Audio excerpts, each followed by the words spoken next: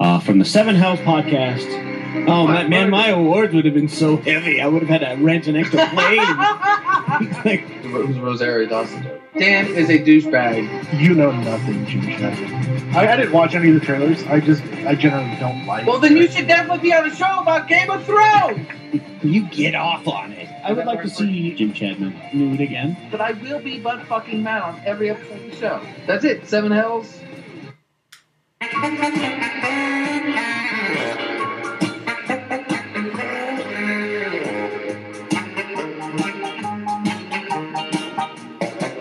Hello, everybody. Welcome to Honey Radio. This is episode number 15.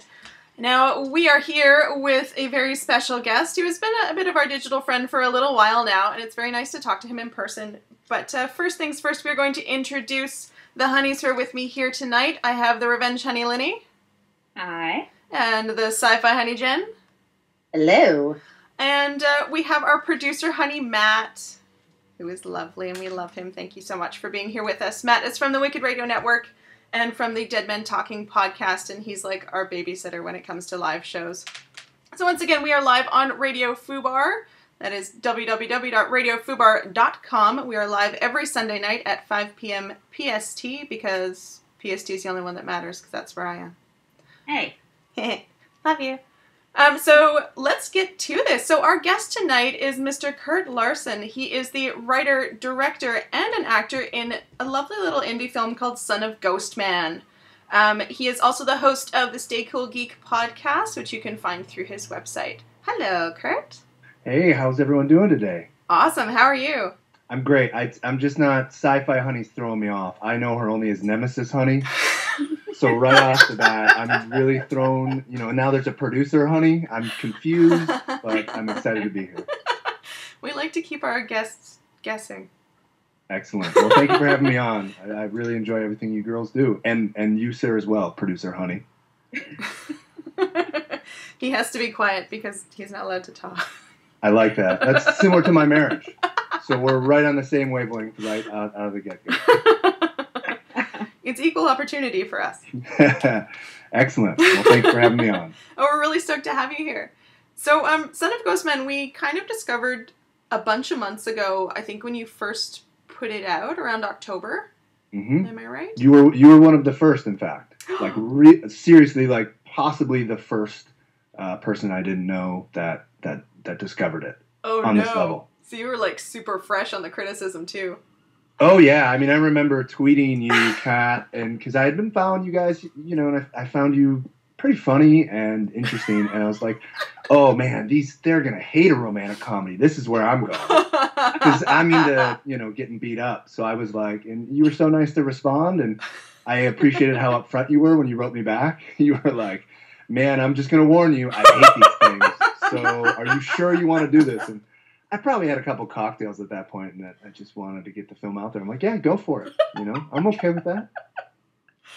that is So, so, yeah. it's so brave. Yeah, and we, I've, I, I, you, your entertainment value has kept me even to this day. I still follow you. So. Aw, I'm glad you still love us, even though we were kind of mean. I, Well, you we know, were- I don't we think were so. really Not really. We I mean, really Hey, not all of us were mean. No, no, not all of us were mean. you know, it's tough being the one lone woman on an island against all the critics.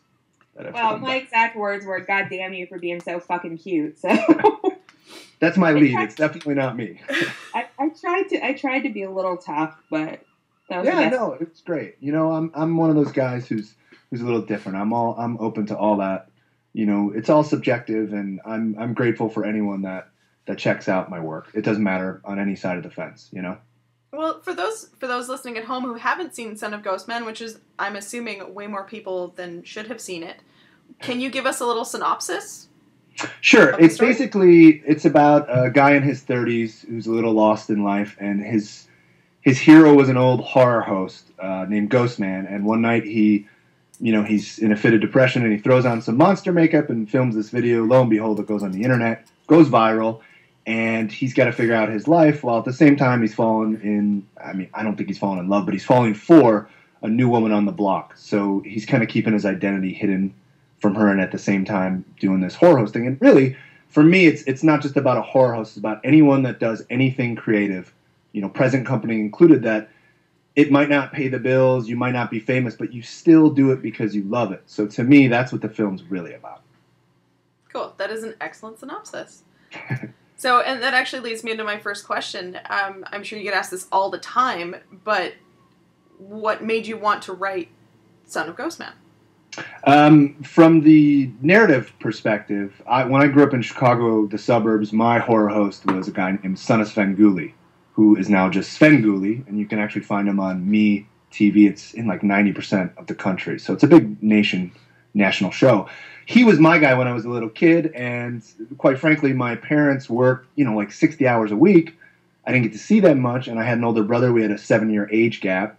That's a pretty big deal when, you know, he's 14 and I'm seven you know, he's, he's stuck dealing with me. And the one of the few things we had in common was Saturday afternoons watching this crazy guy with long hair, monster makeup, and he throws like rubber chickens at the camera. I mean, it's it's really unique entertainment uh, aspect that I I was connected to like immediately, even as a small kid. And I always thought, well, that's just a really interesting metaphor for, you know, I'm in my 30s and I have a lot of friends and colleagues who pursue the entertainment industry, and it's very difficult. And I thought, oh, what an interesting metaphor that the we keep trying to do this, even though we haven't broken through, so to speak, on, on a certain level. And these guys do it as well. And you know, I just thought it was so interesting, and I just wanted to really honor them, you know, and at the same time honor my the things I want to do with you know movies and, and storytelling, which is tell sweet and charming stories. That's what I like to do. So right right in line with a horror podcast. blood, guts, and uh, romantic comedies. Well, you know, I think I think that uh, I don't know. Maybe I'm alone in this, or maybe I'm not. But I I think murder is a very personal thing, and it's it can be a very intimate thing. So I think romance definitely has its place in horror. Well, yeah. I mean, and you know, all kidding aside, I, I think that I'm not kidding. very adamant that horror hosts are incredibly important historically to horror, the horror community, and to people who are into horror. There are thousands of people who are introduced to horror, like myself, because of a horror host. You know, if it wasn't for this guy running around on TV, Svengoolie, I never would have discovered, you know, the universal monsters and the classic monsters. So Mhm. I, I really think they're really important. And horror isn't always about, you know, blood, guts, and gore, although that stuff No, is awesome. Um, I just think, you know, horror hosts are really important as well. I, I totally agree. I think that's that's kind of how I got my start with it too. Was this show that was on when I was a kid? It was um, the hilarious House of Frightenstein. Sounds awesome. It was fucking retarded. This guy was a um, he was a vampire, but his face was green and he had awful hair, and all they did was introduce cartoons and strange little things like that, like little spooky cartoons. Yeah. But that's that's how I got turned on to that kind of stuff at a very young age. Well, and So, it's so I get it. interesting because even in the subculture of horror and then the subculture of horror hosts, you have really it's it's just like actors or whatnot. There's some guys that are amazing and some guys maybe not so amazing, and it's just so fascinating, you know, to see the different types. And I've been catching up on a lot of the newer guys and gals lately, and I mean, I'm blown. away. I sit at my computer, I'm like, look at this guy, look at what he's doing. This is incredible. You know, it's so interesting, and that it would compel someone to do that you know, and I'm I'm in line with them. I think it's just a beautiful entertainment form. Even at its worst, it's interesting. You're like, what is happening here? Oh, absolutely. I mean, I I feel very like a very huge amount of kinship towards like Elvira and her character. Like, Yeah. I would love to be like that someday. Right. And I mean, she's probably the most famous one, you know, Exactly. and, and still going strong and still making appearances. Yeah. And we just saw her at Knott's Halloween Haunt out here last Mhm. year, and still packing them lines long. you Oh, know? of course. It's- Was she in character or not? She was. She was totally in 'cause character. I've heard that's way more expensive. It- it's- it's- you're exactly right. So it's way more expensive, and you have to purchase a certain amount of memorabilia to even get to meet her. So of it's course. and I found that really interesting too because I, I'm from a geek background, so you know to see what she charges in comparison to like you know um, famous people in movies from years past or even you know baseball players because I like baseball. It's so interesting to me, but you know people people love her. She's she's one of a kind. There's no question. Absolutely. Um, so tell us about your horror host characters in Son of Ghostman. Um, how how were they inspired by hosts like Svengoolie and you know brought you were brought up with? Um, how did how did they kind of inspire the development of the two characters that you have? Well, there's a couple things. So, Son of Ghostman, that's the main guy, basically Denny. Uh, I loved the son of. I obviously got that from Son of Svengoolie. I was like, oh, it's so interesting that he would play somebody that thinks he's the son. And what I really wanted to do with uh, Devin Ordon, the, the actor, is I wanted him to be really awkward and uncomfortable as Son of Ghostman. So we talked a lot about, okay, I don't want you to do a voice, you know, because some of the actors would come in and do like this crazy voice, you know, and I was like, no, I don't want that. I want you to kind of, kind of be who you would be as the as the person, uh, Denny, and you know, but you'd heighten certain things the way you talk. But then I want you to break character when you realize this is just a train wreck. Because I felt, you know, the audience would have more compassion and like that character more. And then on the flip side, uh, counter cool, I just was looking for the biggest douchebag possible. And of course, perfect casting for those of you who aren't aware. Um, I just wanted him to be like, you know, because vampires seem to be everywhere. And, you know, a lot of people roll their eyes at vampires or did. There was a small portion of time they're like, another vampire. And I thought, oh, that'd be, you know, let's go with that route because so many people will immediately, you know, recoil from this guy. And then I just wanted him to to talk about how sexy he was when he's not, and he could. He's, he's just gross. And and from there, I was like, he's got to sell something, because I'd seen the documentary King of Kong, which if you've ever seen it, I love that documentary. I, I, it's about Donkey Kong nerds. And have you not heard of it? It's literally like a No. four star movie. You How have I get to it. how have I heard of and watched Bronies, but not that? Oh my god, this is a real story. It really happened, and it's about Oh. this really nice man who plays Donkey Kong and he wants to get the world record. And there's this other nefarious, I don't want to give it away, but this terrible guy who's like thwarting his very real attempts to beat the record. and one of the things that's great about this guy, Billy Mitchell, is he sells in real life, I I think it's like hot sauce. so he's always pushing his product. And it just makes him even more of a D, of a D bag. And I was like, well, we've got to make Counter Cool sell something and I just was like, and this is a little bit peeking behind the curtain. I wanted to shoot as many scenes outside as possible to, you know, make up for what I felt was a, a lighting lack of experience. So I was like, well, vampires can't be outside. Everyone knows that, and because the light, of course. And I was like, well, what if he sold uh, sunblock? You know, then he can go anywhere he wants and talk about how sexy it is because he has sunblock. And even better, he can, you know, tell people why they're not, why they can't be in the sun because they're not as cool as him. And so I felt if we did that, you would immediately like uh, Son of Ghostman much more because he's awkward and he doesn't know what he's doing, and you would hate the other guy more, Counter Cool, because he's kind of famous, but he's terrible. I mean, he's like Dice Clay in the '90s or something. You're just like, really, this guy's popular? How is that possible? So that's kind of where the development, and it's just a natural rivalry between the two. That is a perfect explanation. Yeah.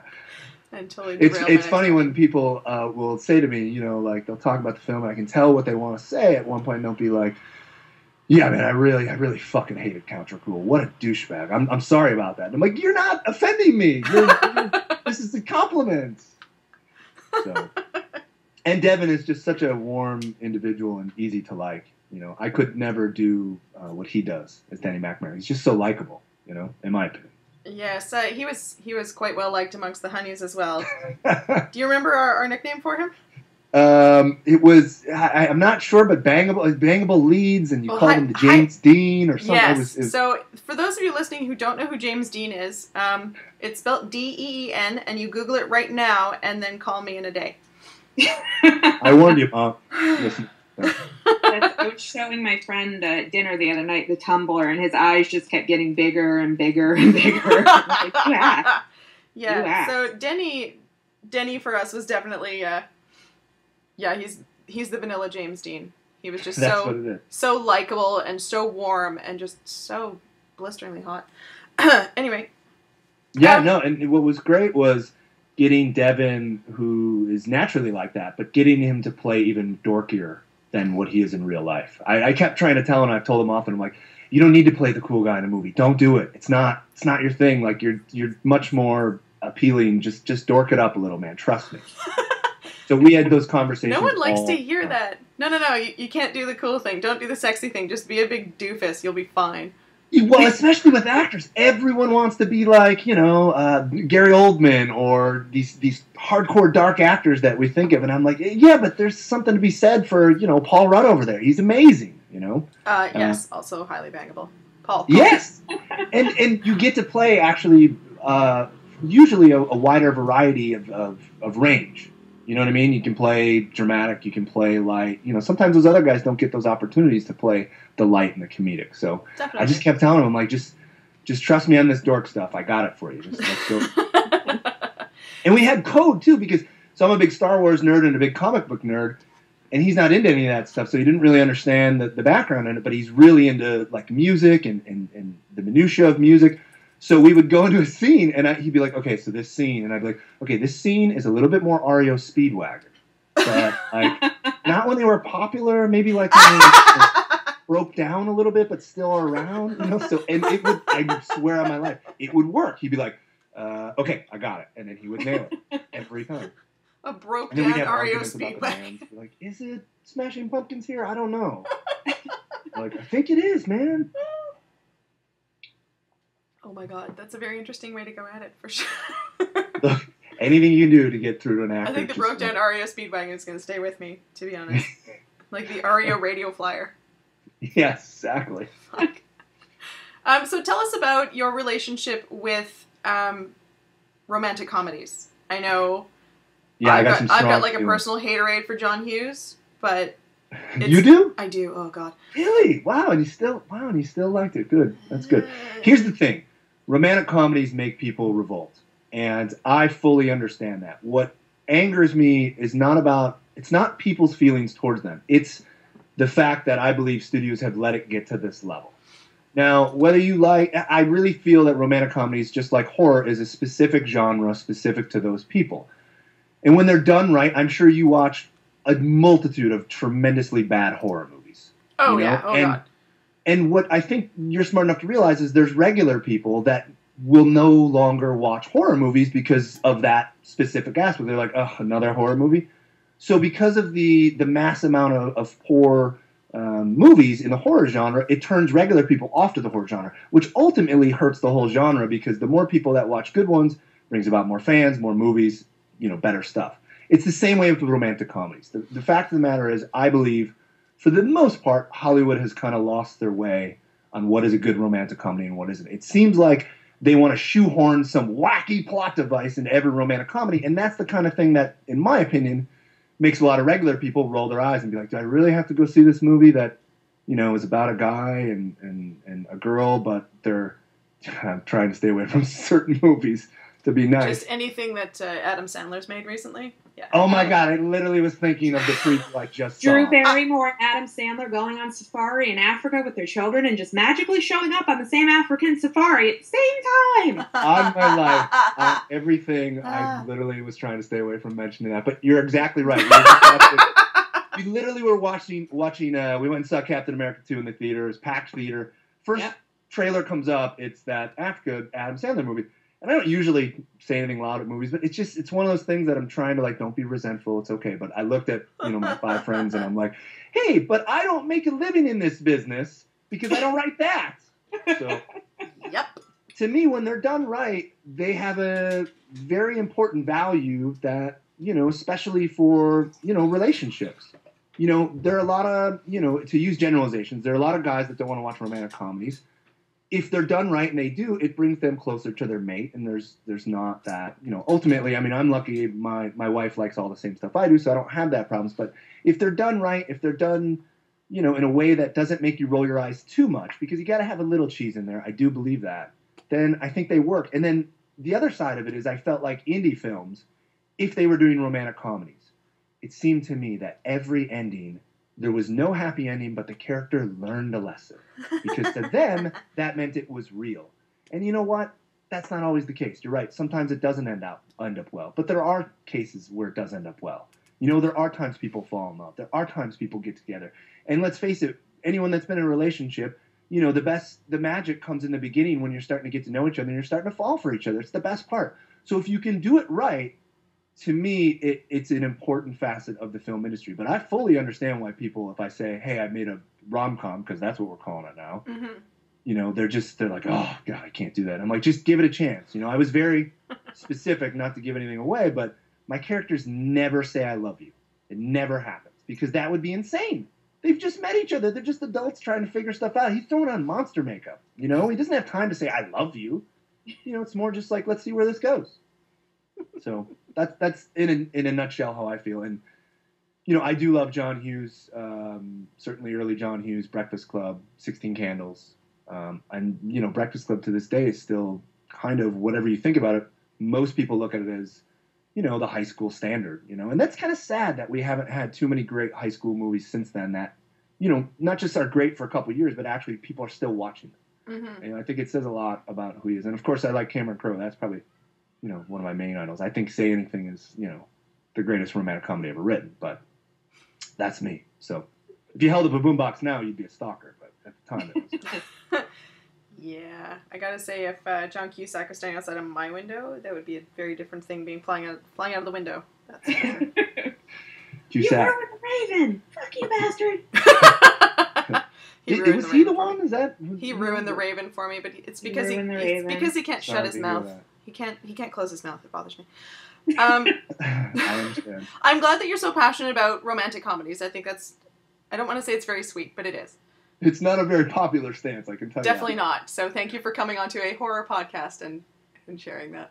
Yeah, man, I mean, like I said, I'm pretty reasonable. I think almost all genres of film are important if they're done right, you know. And a lot of there's a lot of muck and drudge out there that isn't done right. So, you know, I'm hoping to do my best to to show people that you can still make these films and not have you know anyone but the Green Goblin roll their eyes too much, and you'll be just messing around. Jen's gonna get you later. Don't worry. I'm ready. She's a sweet girl. Congratulations, by the way. I'm looking forward to the to the next mini Green Goblin attacking me many years from now. Mwah. well, there's two of them, so oh wow! Congratulations, Luke and Leia. Excellent. Exactly. Those were my name suggestions. Um, so, since we're on the topic of filmmaking, um, no budget filmmaking, tell me what it is. Like, we've talked to people who have budgets for their films, and some of them with big budgets for their films. So, please just define what a no budget film is for me.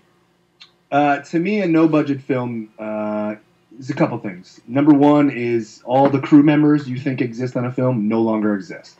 You know, it's one to five people tops.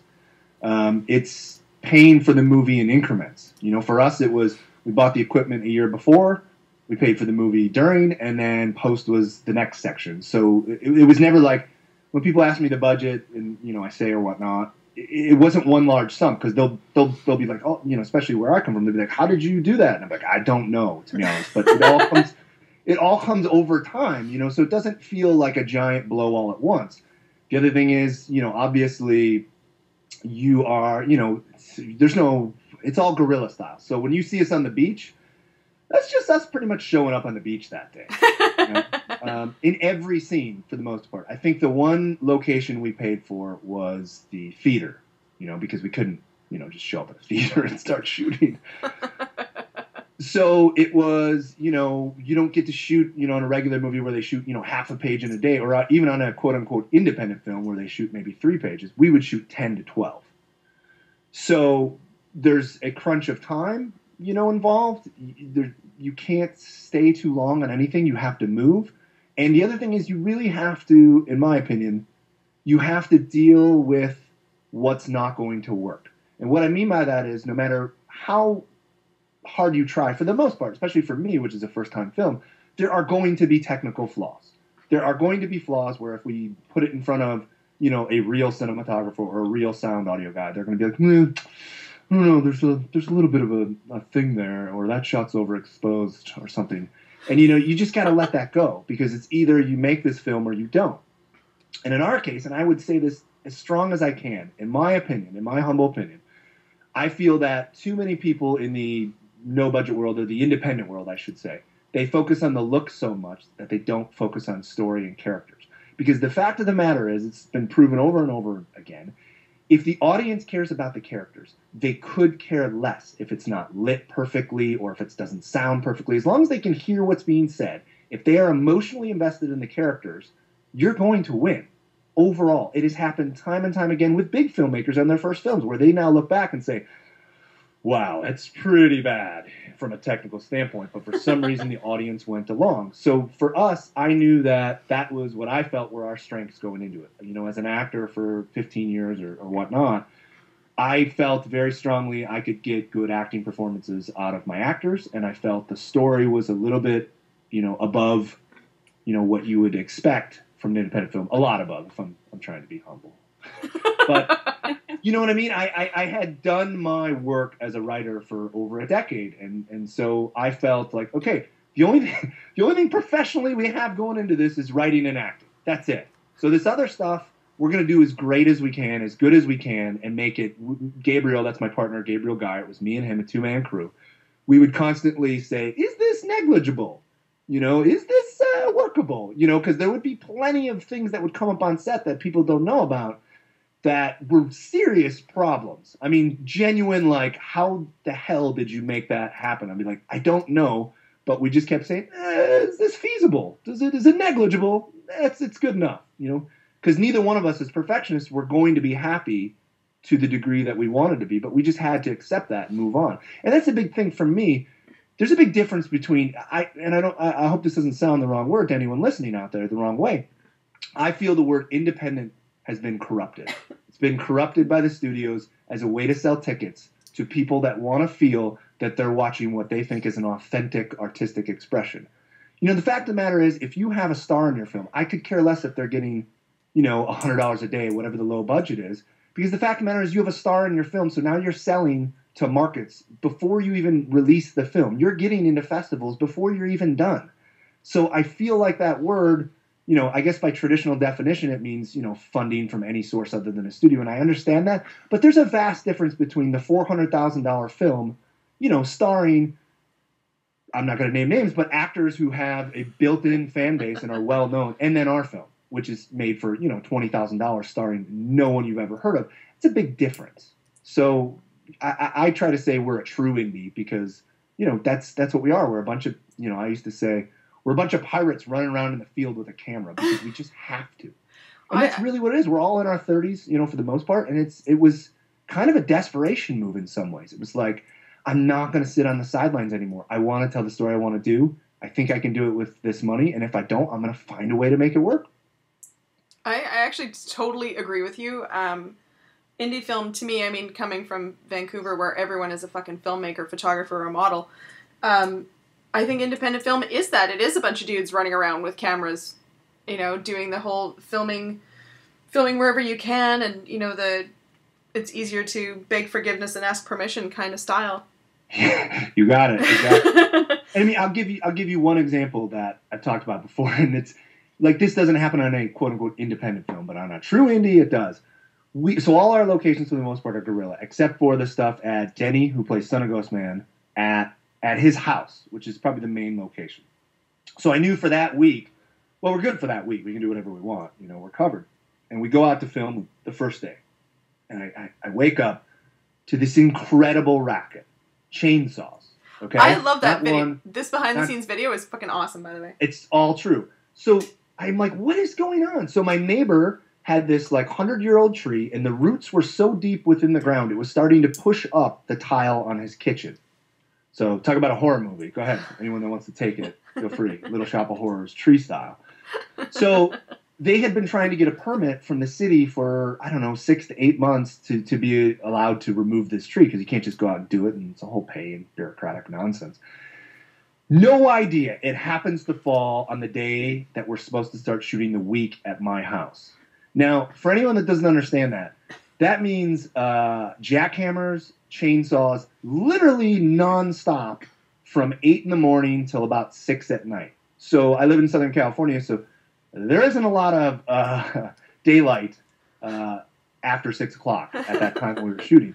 So we, honest to God, were like, we'd wait 30 seconds and I'd have to guess, be like, okay, go, action. and we'd get snippets in there. And there's still one scene in the film that I've never been totally happy with because we just we had like 45 minutes to do it, and you know I wasn't comfortable with you know a lot of the blocking and a lot of the shot selection, but uh, there was nothing I can do. You know, people out there are like, well, why didn't you reshoot it? Well, because I had a friend who had grown a mustache for one, and he has a real job. He can't have the mustache really on his job, so he had to shave that. It just wasn't going to happen. You happen. can't have a mustache at your job? Well, he could, but I don't think it's conducive to the work he does. Let's say so. You know, it's it just was one of those things where reshoots were not. It was not an option, so we had to make it work. You know, but Okay. that's the kind of stuff that happens on films like no, that. now I'm really curious. Where does somebody work that mustaches are not acceptable? There's many. You don't have to tell me. No, no, I'm trying to. I'm gonna. I'm gonna make it up in my head. It's fine. It'll be funny. So yeah, Well, that's that's. I mean, I think that's part of the uh, the trials and and stuff that you go through as an indie filmmaker, as a true, a quote unquote true indie filmmaker, is that you do have to deal with that kind of shit. Yeah. You know, because Well- people are gonna fuck with you because they don't care what you're doing. absolutely not. Especially out in Los Angeles, they really don't care because everyone's doing it. And if I was where I'm, I'm from Algonquin, Illinois, which my high school at one point was uh, in the middle of a cornfield. That's actually true. You know, if I wanted to go film a movie over there, every single person in town would be like, "Come on in, film whatever you need. Would you like some food?" Whereas here, they're like, "I'm sorry, do you have like eight thousand dollars?" Yeah. And you're like, "No, no, I'm an independent film." They're like, "Oh, I know about independent films." You know, they're like, "No, see, that's the problem yet again." It's the same thing here in Vancouver. Every time you run down a street, it's like, I want to go to my favorite cafe, and there's a fucking film in it. Great. Yeah. Whatever, Yeah. assholes. Yeah. Yeah, my sorry, my boyfriend was in a is in a web series here that has a zero budget also, and uh, they were actually filming in my apartment because they needed an apartment to film in. They're like, okay, we need to, we need a rental property. I'm like, okay, I guess my place. So I had people stuffed in my bedroom with all their equipment, and Yeah. and every and every three minutes a sky train would go by. So they had to like, okay, we sit there waiting. The train would go by. Okay, go, and they film and they film and film. Look, and oh, there was a train in it. Yeah, and I was I was in the middle of uh, I was engaged, and uh, despite the film, we made it to the finish line. We're married, and you know, I I mean, imagine going to your wife and she's not into you know the entertainment industry, and I was like, so look, I want to turn our entire house into a horror host set for like a month. How do you feel about that? You know, and you know, I just have the best friend, best wife in the world, and she was like, "Yeah, let's go for it." So you'd you'd wake up and you'd forget there's a horror host set as you're walking to your coffee, and you'd like trip over fake trees and, and just go, you know, that's just what are you gonna do? You need it, you know. So, Well, I'm glad you guys made it through. And she was your assistant director too, wasn't she? uh, in some way, she was. Director's assistant. we always yes. say we always say it was a two man crew, and that's a little that's a little disingenuous to some degree. Uh, Gabriel and I did all the technical, creative aspects. We we were in charge of all that, but every day on set, I want to say every day, was his wife Sarah, who plays Renee in the film. She's great. She also did all the makeup for us because we were idiots, and we're like, yeah, we'll do the makeup too. And then you realize, oh, that's like a three hour process, even just as a horror host. Uh, I gotta set up a shot, man. I gotta work. I gotta figure out aperture. So we had uh, her, and then my wife was there every day, and then my sister-in-law Heather, and they were just amazing because again, I'm someone I always joke that uh, my favorite character is Han Solo, and I'm always like Han Solo, just so confident and cocky, and and you know, yeah, we'll go through this asteroid field, I'll figure it out, no problem. And then halfway through, I realized, oh, I'm in way over my head here. I've got to figure this out. And I was just lucky to have people around who'd be like, did you want me to cook lunch today instead of you? Be like, you know what? I think that'd be great I got to figure out how this blood goes out of his arms because we haven't thought about that, and we're shooting in an hour, you know, or whatever the case may be. That kind of sounds, sounds like how I run Horror Honeys, to be honest. It seems a very dictator, dictator, you know, situation. But I, all, all I know is I sucked up to the right person. you know what? It's a cat-tatorship here. So. yeah. Mm-hmm. we can do a whole web series. We'll write something on. It'll be like House of Cards, but horror honeys behind the scenes. And now there's two sci-fi honeys. I can do a whole season on that. oh my god. Um, okay, so I'm curious about um, so people who've talked to you in the past that are uh, independent and no budget filmmakers. They put aside a certain amount of money for film festivals and sending out screeners and all that kind of stuff. Do you guys have a plan for that? I don't know if you guys have been to any film festivals or anything at all. Okay, so here's the thing.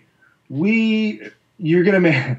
Everyone makes mistakes. so I was so excited to, you know, I'm a guy that my motor's always going. So I just wanted to get, let's go, let's go, let's do it, let's do it. What's next? So we did a rough cut, and we had a rough cut screening out here with you know I want to say like 200 of our friends.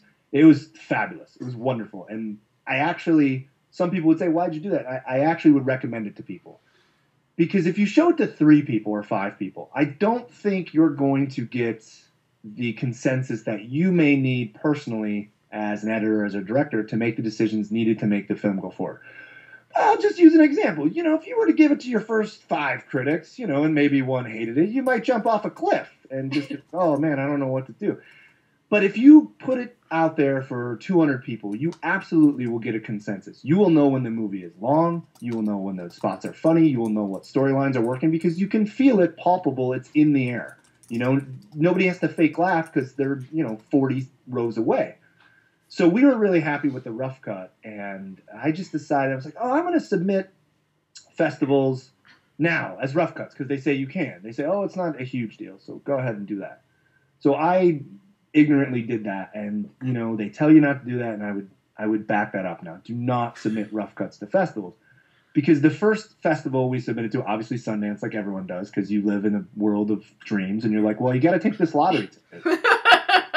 Which you do. By the way, that's you know, of course it's one in a million, but that's the one. You know, go ahead. You know, my advice to independent filmmakers would be pick five to seven dreams and go for it and then don't go to the other big ones because if you're unknown and they don't know you, it's it's just your chances are incredibly small. I was talking to a couple larger, I won't out them, but larger film festival programmers recently and got a lot of feedback. And you know, they they just said, look, if it's unknown and your chances are just so hard that it's going to get through that scrap heap, you know. So I submitted rough cuts, and the the first film Sundance to what we did towards the end, it was just a vast difference of the film. You know, not even like from a filmmaker, like, oh, it's really different. And then you're like, no, it's not. It was. We had original music.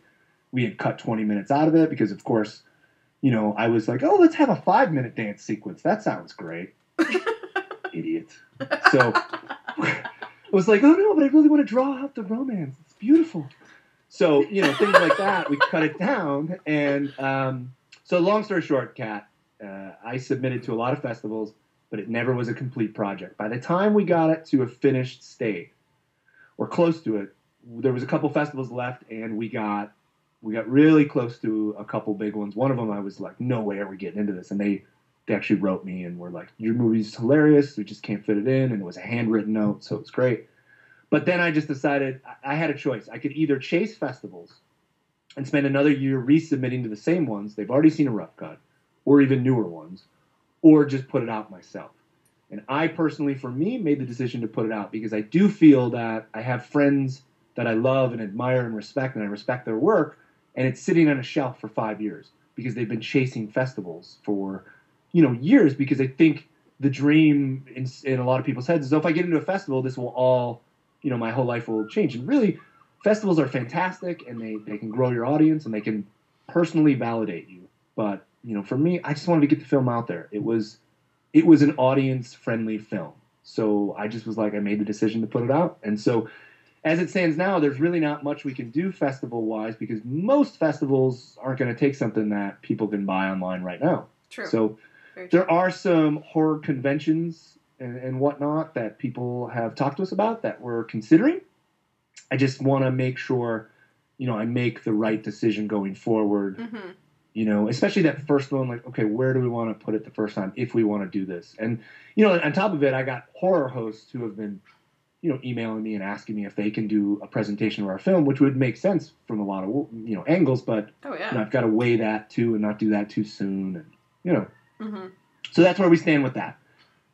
Okay, I think that's awesome. and It also leads into my next question, which is about your Rondo Award nomination. Yeah. So, Rondo Awards, for those of you who do not know, uh, the Rondo Awards are honoring the best in classic horror research, creativity, and film preservation. Now, you're nominated for Best Independent Film, Yes, ma'am. and Yes. I think this might be where some of your snarky comes from for other independent films that you are nominated with. Um, th- that's not where it comes from, but it is fun uh, to be kind of the film. I, there's probably a couple others that I it does look like there are a couple others that are super super independent yes. here as well as one that excuse me is actually a little bit similar there's another one with horror hosts in it to some degree, yes. Um, it's it's very fun to uh, you know. I looked at all the films, all you know, great, and some of them I really want to check out just by titles alone.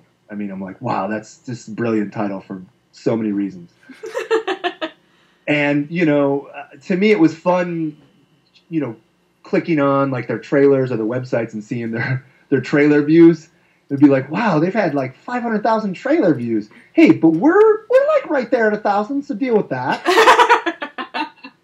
but it's kind of fun because I've always I don't know if it's the way I was brought up or you know everyone you know I was always I, I like the underdog situation. It's not even about a contest or anything, but I like there's something within me that I think I'm best or I excel best when I feel like there's a chip on my shoulder, like you know, all right, you don't know me. Well, I've worked at a catering company for many, many years, so I have many, many caterers. So let's see, you know, things like that. Um, it's fun, you know. Um, I, I was pretty surprised and shocked by it. Uh, I believe I owe a lot of gratitude to the horror host community. Um, the first horror host that really, you know, gave us a shot and, and, and watched our film and really has been very helpful to us is a guy named Dr. Gangrene out of Nashville. Great horror host. Very lucid, very on top of his game, very funny. Really, really genuine guy that, that gave our film a shot, and he loved it. And I think that that started you know, kind of the spread within the, the community of you should check this film out, blah, blah, blah. And then some people were, you know, pledging for us to get nominated and, and it happened. And it was a real, it was a real nice moment. You talk about validation and everything, you know, when you put together your, this film that you believe in that I genuinely, like I would not talk to, I, I listen, I have been part of films that immediately when I saw, I was like, oh, I can't, I can't tell people about this. I can't get this out. There's no way. I mean, and the shame that takes over you when that happens is it's it's it can be incredibly creative, crippling, and depressing. It really can. When you when you do something and you're like, oh, that's that's just terrible. But in this case, I'm so proud of the film. I, I really like it. Um, I love it. And so to get some small form of validation and to get more people kind of turning their heads and being like, what? What is this? You know, it's really rewarding. And, and to me, as I said, because it's a voter system, it'd be great to win, but we got the nomination. To us, that was that was the win. Mhm, it was like, definitely. hey, this thing exists. Maybe you should look at it. Elvira, you know, as an option. Just send her a copy. Just like, just Yeah, seriously send her a copy. Just a nice little handwritten note. Draw a couple of bats on it. She'll love it. Yeah, exactly. So All right. Well, that's that's it for my questions. I'm going to open it up to the other girls because I know there are a couple of other questions, burning questions in the wings. burning. Burning. Who wants to Do we need first? to pick up the horror aspect? Let's do this. I need some new horror movies to watch, girls. I'm struggling over here. I'm trying. I've been renting a lot, and I'm just, oh, I don't know. It's tough. really? Okay. Well, does, Yeah. any, does anybody have who? Sorry, Jen. I totally just cut you off. That was actually me. Oh, that was you. I'm sorry, Linnie. Go. I was gonna say we don't always have the best luck either, so I'm not sure that Definitely how much help we can be. Um, so do you want me to ask my questions? Yeah. Yeah. Okay. um, I guess you actually brought up the music. Uh, my question is, I have a couple actually, but uh, the music in the movie it kind of reminded me like of the Breakfast Club specifically, Yes. kind of the new wavy synth pop sound. Right. Um, was that what you were thinking when you soundtracked it? Hundred percent.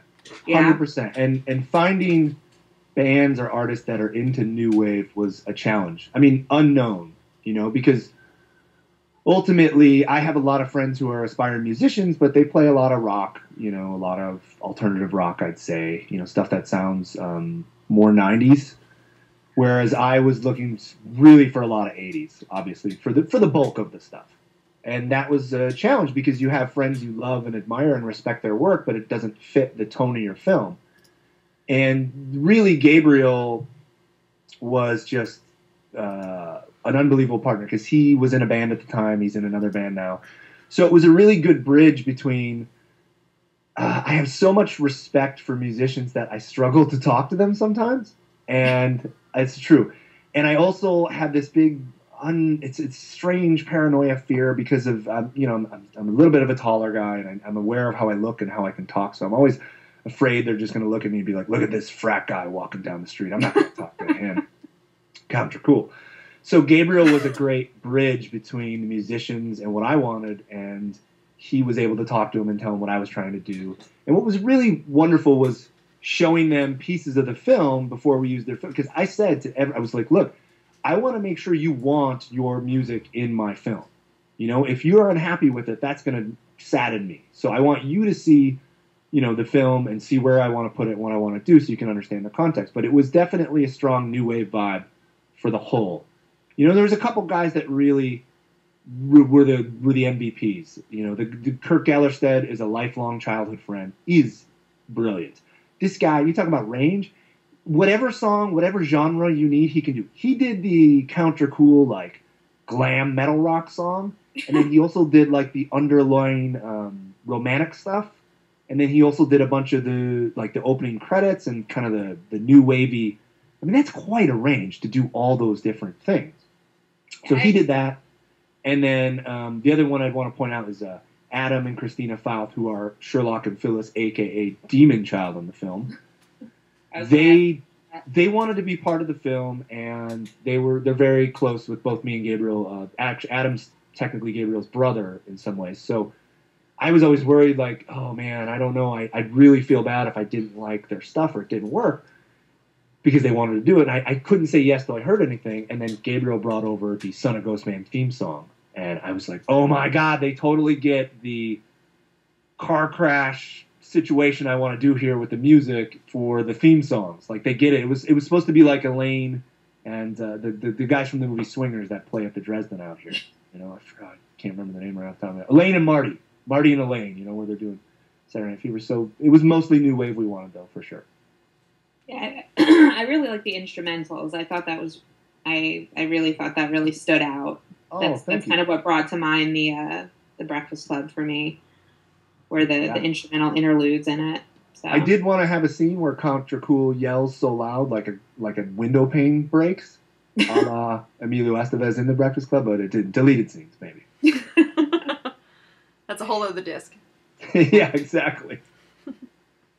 Um, my other question was my my favorite scenes that in the movie were the ones where um, the hosting scenes, the Son of Yeah. Ghostman hosting scenes. I thought they were really personal.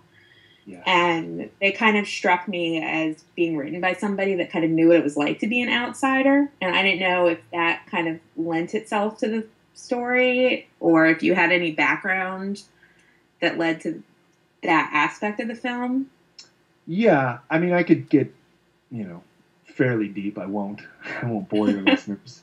You know, the thing about the film that some people have picked up on is that it's an incredibly personal story to me.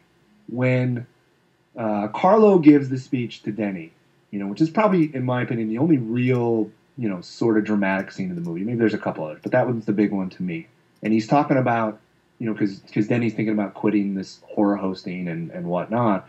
And Carlo's like, look, man, I don't think you realize what your stuff matters. Like, this is who you are. You can't change this because, you know, you think you want money or status or, you know, stability on a certain level. You know, that's really uh, Carlo talking to me to some degree.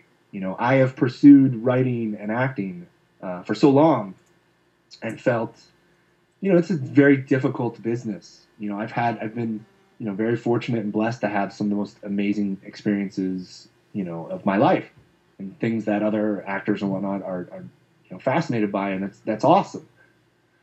But they still, it's still breaking through on a level where you do it for a full time living is incredibly difficult, and it's there's times at this age of my life where I do feel like an outsider. You know, I do feel like, you know, the kid, and this is why it worked to me from a horror host standpoint is we were we were the kids no one wanted to play with.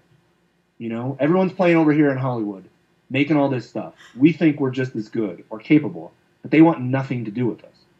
So it just came a thing of fine, we'll go we'll go make our own sandbox over here, and people will come and watch us and want to play with us. So you know, you know, basically fuck you. You know, whatever. Fine. You don't want you want to make another Adam Sandler terrible romantic comedy? Fine, I'll make this.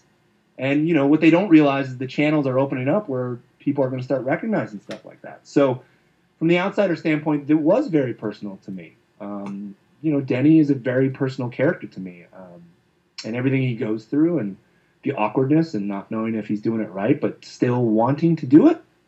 You know, that was definitely, you know, very, very near and dear to my heart. And then the other thing was with those scenes, I was just so terrified of, I don't know, um, not doing justice to, you know, my hero Svengoolie and other horror hosts out there.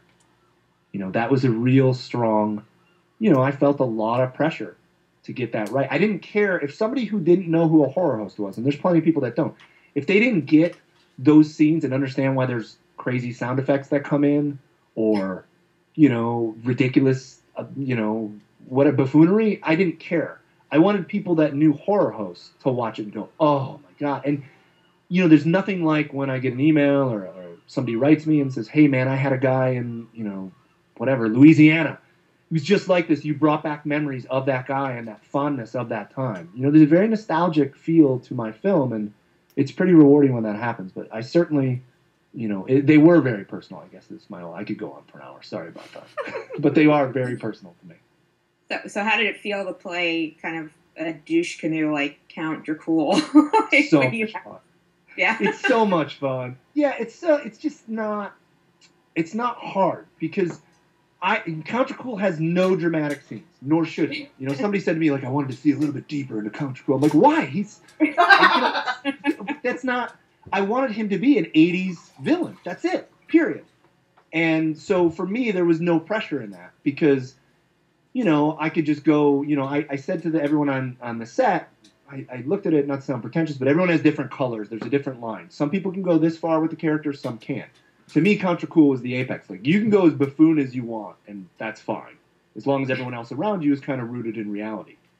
So it was it was difficult from a technical standpoint of remember we only have a two man crew so when i'm acting somebody's got to be behind camera so if i put gabriel behind camera he's stressed out because somebody else is doing audio but if i have someone else behind camera i'm stressed out so that was challenging but as far as actually like line readings and everything that that wasn't you know real difficult for me because a lot of people don't understand how hard it is to be the leading man you know devin to be the guy that has to make you care for him and be in almost every scene, that role is so much harder than people realize. And I know from firsthand experience. And he's just so much better at it. So it was just like, oh, I get to basically fuck off and, and be an absolute D bag? That's easy for me. Which there's a lot of friends at home listening, laughing right now. They're like, yeah, it's easy. I channeled my, my older brother in that role, is what I did. nice. Is he aware of that? He is now. I was gonna say. All right. Well, I'm gonna turn it over to uh, to Nemesis Honey. Yes. Sweet. Um, not to in, in, inject a little curiosity into it, but okay. So I was watching the movie, and uh, I and as a woman, I'm assuming that it's a romantic comedy that you're writing here, so it's aimed a lot at women because or women that drag their boyfriends to said romantic comedy. Um, I was actually kind of surprised at how most of the women in your movie were treated.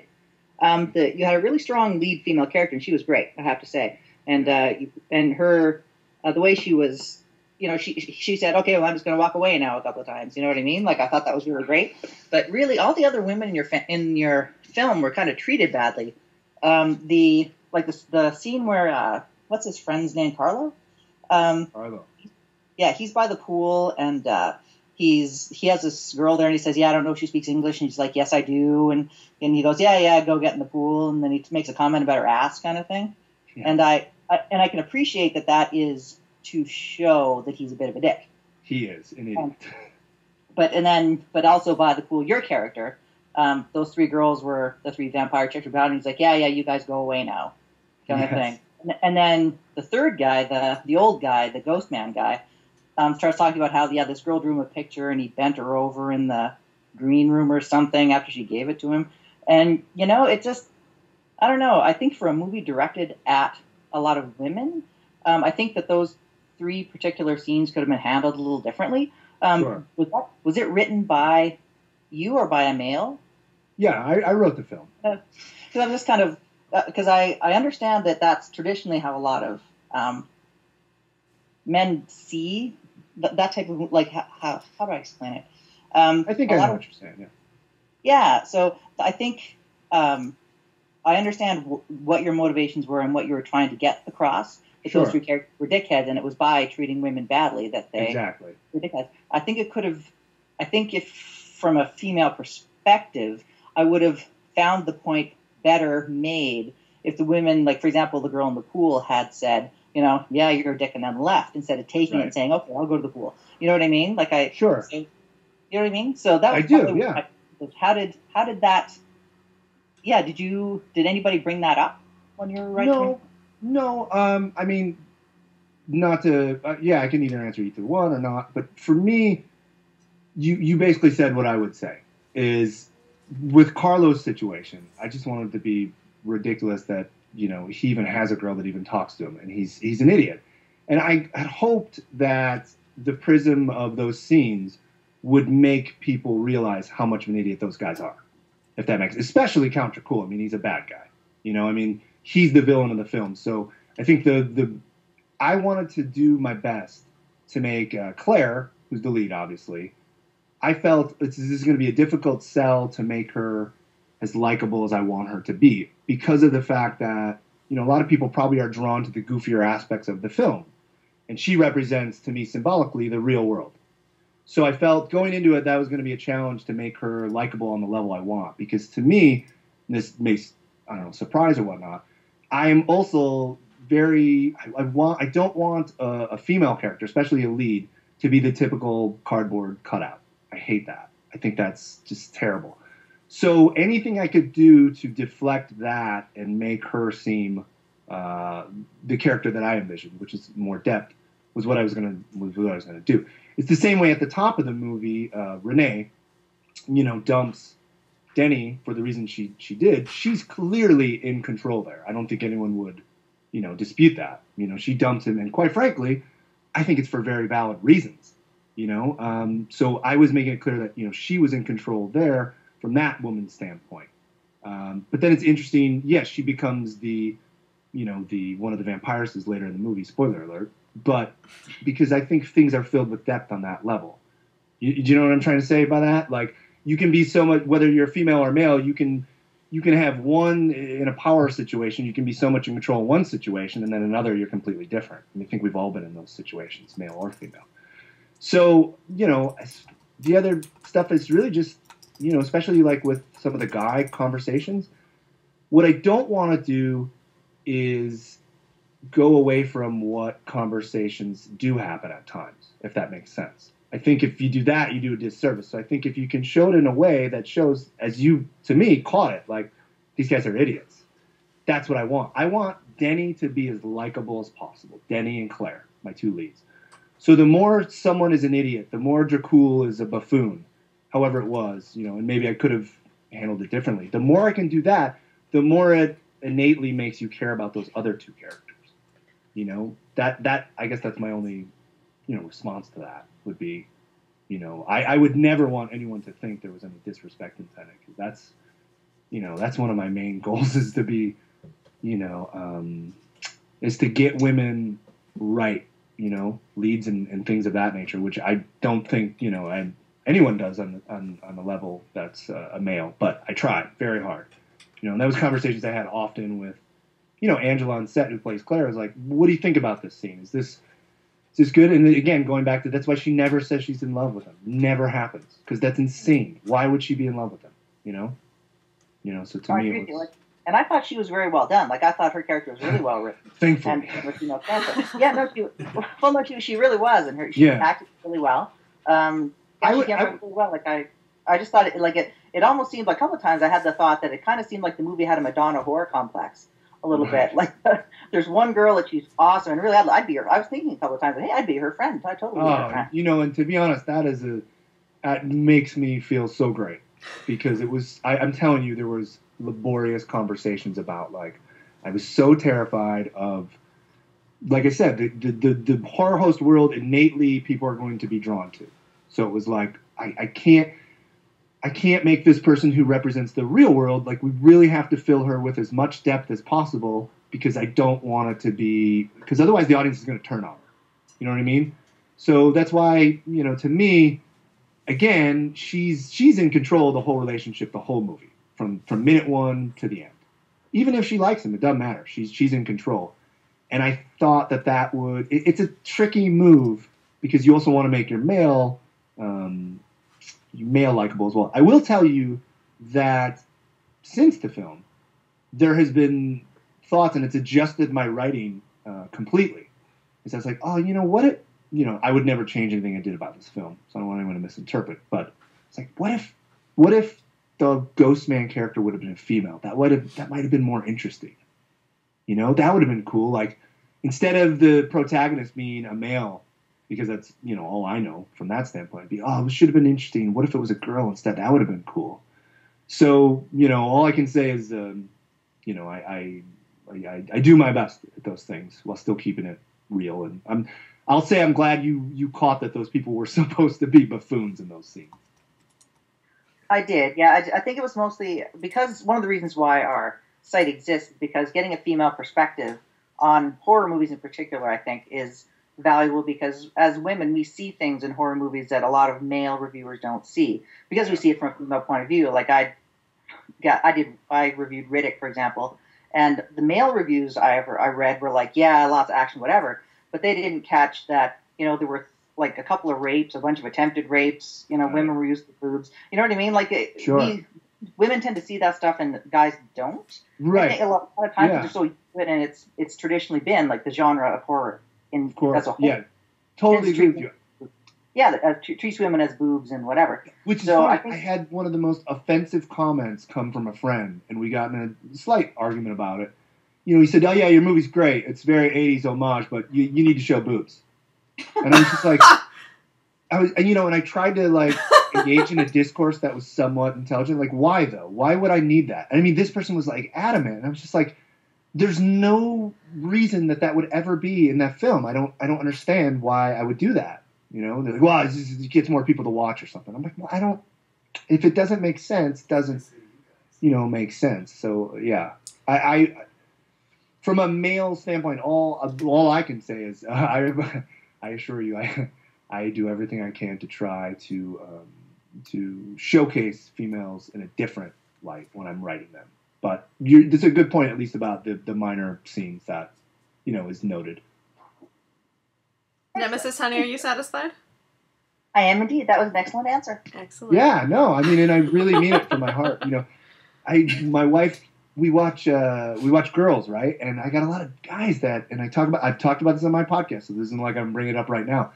I'm fascinated with the show because I I don't I can't relate, but obviously it strikes a chord with a certain segment of the population, whether we agree with it or not. It certainly does. So I'm always just fascinated to watch it. And relate. what's that? You're not the only one that can't relate. Yeah, I'm but either way, I can't does- relate. It does represent a certain segment of the population, which I find interesting. I will say, whether you like it or not, I do find it interesting. I have a lot of male friends who it seems like to me, and I've brought this up to them, I've taken them to task, is their criticism, which it isn't that the show isn't uh, worthy of criticism, don't misinterpret, but it seems misogynistic to me at times. I'm like, well, what don't, what don't you like about it exactly? You know, and, and I've said, you know, it sounds a little like you just don't like it because it's females who are popular and, and running this show. It seems like you have a, a personal issue at stake there, and it doesn't doesn't make sense to me. You know, you know, Cate Blanchett said it best on the Oscars. You know, the film is the, the world is round, people. So, so anyways, that that would be my answer to it. So No, I think I think that's great. I mean, we get just to backtrack to the boobs thing, we get a lot of comments. Actually, less so now than we did when we were starting out, but that our site needs more boobs. Yeah, You know, like there needs to be photos of us tits out all over the place or something. Which, by the way, can I just say it's, it's pretty funny that it's pretty ridiculous that that's what they're asking for on your site. If you really want to see those things, it's really not hard to find somewhere else. You know, but having boobs next to horror, I mean, that's totally Yeah. different. I mean, maybe Yeah. maybe that's what would have pumped the film up to, like being accepted more as a horror film and less of a Yeah. romantic comedy with a horror frame. Know, horror, horror. We gotta flip that on its switch somehow. Horror in some ways. We get some fresh ideas there. I think that's just me. Oh my goodness. Well, Kurt, my dear, I'm actually going to start to wrap things up here. Yeah. Um, so I'll let you do any shout outs that you want to do. Right. Um, yeah. So if people want to check out the film, uh, www. Well, like I have to say www. Come on. Sonofghostman.com is the website, and they can see the trailer right on the front page. You can get it on Amazon. You can get it on Amazon Instant Video. You can get it on Vimeo. It's like three dollars. And you know, I, I podcast every week on Stay Cool Geek with my partner Kelly Dolan, who's often referred to the horror honeys as the Care Bears of the horror world. I promise you, we'll be discussing you tomorrow. okay, I want to approach this Care Bears of horror. thing. Yeah, I got. I listen. I have to defend him. He's my guy. He's like, you know. I know, and you know what? When I when I first saw that, when I was first tagged in that status, I was like, "What the fuck is that about?" Because we're chicks, we're like soft and fluffy and shit. But then I was like, "Wait a minute. No, no. If we have like little stabby icons on our tummies, then it, technically we can shoot knives at people." So Right. I'm actually kind of okay with it now. Sure. Sure. Because yeah. I'm sure some uh, maiming I, don't occur. think he. You know, it's one of those things. Even back to Jen's question to some degree, and maybe they. He should, I don't think he even thought about it from that scenario. I'm sure not. He was just like, "Oh, they have different powers. What's the first thing I can think of? Care Bears." Care Bears, of course. And and to be fair, got you. You know, uh, you know, he was. Yeah, no, I'm, was, I'm not uh, arguing. He was defending his his host. Is all I can. No, I, I totally, I totally get it. Absolutely, it's just Monster funny. Squad. I let the record be known. I said Monster Squad. I'm fine with that too. That's Yeah. totally okay. so yeah, we podcast every week. Stay cool, geek, and we talk about a lot of the stuff we probably touched on today, which is uh, trying to be creative in a world that it's difficult to do that, and and really, uh, I am an idiot in general, so I'm trying to learn how to become a, a husband and a man of some sort that still likes action figures, if that's possible. That that's not a thing. So we talk about those things. But, uh, you know, we also talk about geek stuff.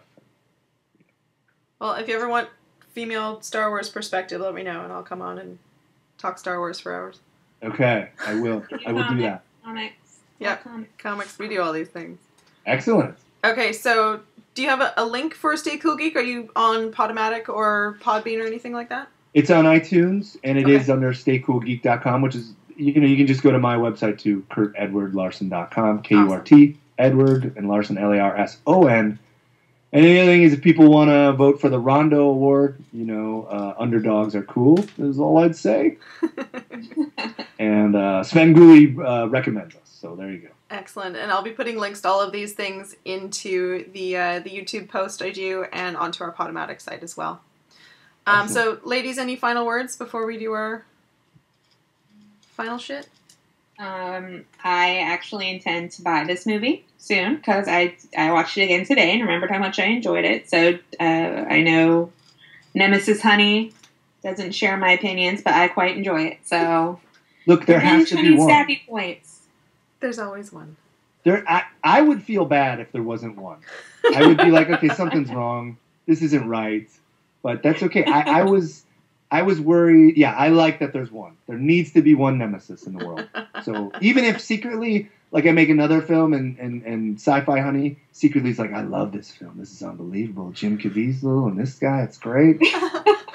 I don't want you to admit it. Please don't. That will ruin the whole the whole dynamic, man. It's no good. A lot of it was very well done. Don't feel bad, Jen. Own it. Own it. Yeah, it was. I, I it was fine. I, I think you know I handle it with uh, grace and fun. I don't. You know, people who get upset about that stuff, filmmakers, they're they're in the wrong business. You know. Yeah, I've, I've gone on several rants about people that get butthurt about criticism for their films. So well, the, the thing to me is with criticism, it's always appreciated when it's from you know an intelligent point of view. You know, I would only say to any critics in general, and I try to do this on my podcast as well, is there's no intelligent discourse if you're just like it sucks. Well, what don't you like about it? You know, you need to explain. You know, not you. I'm just saying in general points of view. no, in general. you know, the more you can articulate it and say what you didn't like about it, I think, especially with anyone doing anything public talking about it, it brings you more listeners. It brings you more of a following if you can, you know, intelligently back up your reasoning for not liking things. You know, I totally agree. sometimes things just suck. Don't get me wrong. but there always has to be a reason. there does. You, you, yeah, absolutely. All right, Kurt. I feel like you could talk forever, and we probably could too. But I'm going to cut you off. Excellent. Thank you. but don't go anywhere. Don't go anywhere. So um, you can find Horror Honey Radio on Podomatic, on Stitcher, on Radio Fubar. You can also find us on our website at thehorrorhoneys.com, including our multi honey review of Son of Ghostman. Um, I'd like to thank Matt, our producer, Honey, for once again babysitting us through this process. Thank you so much. Um, and Linnie, where can people find you? I am at Linnie Loowho, L I N N I E L O O W H O. And Jen, where can we find you until June? Surprisingly, not at Nemesis, honey. Um, at uh, Jen Spacey. Awesome. J E N S P A C E Y, like Kevin Spacey. Oh, excellent. We love Kevin Spacey. Um, you can find Son of Ghostman on the Twitters as well. They are quite lovely to chat with. You can find them at Son of Ghostman, and you can find Kurt on there as well. Kurt, can we have your Twitter handle? Yeah, it's Kurt Edward L. K U R T Edward L. Perfect. All right, so everybody, we're gonna say goodbye all together. So ready? One, two, three. Bye bye. Bye. I love to take my baby to a movie show so I can try to suit you while the lights are low. But you won't cuddle do a story of romance. There's only one way I've got a chance. It takes the Batman, Wolfman, Frankenstein, or Dracula to put her in the mood for love. It takes the cat girl, dog boy, creature from the Black Lagoon.